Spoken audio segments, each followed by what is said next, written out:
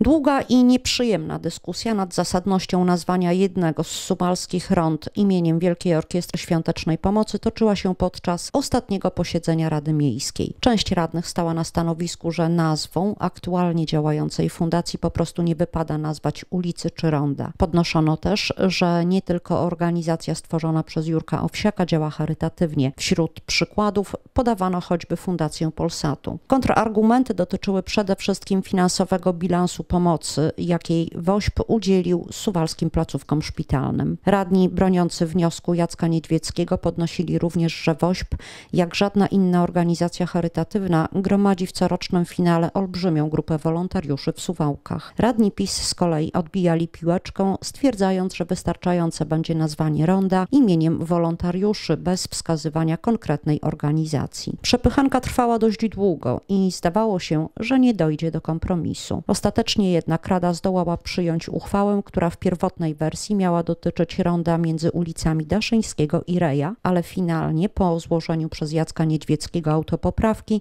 nazwę Wielkiej Orkiestry Świątecznej Pomocy dostało rondo między ulicami Leśną i Utratą. Zgodnie z wolą grupy radnych zrzeszonych w klubie PiS oraz kilku rajców spoza tej formacji, nazwę suwalskich wolontariuszy dostało rondo położone na suwalskim osiedlu Północ, stanowiące łącznik między rozbudowaną ulicą Daszyńskiego i Reja.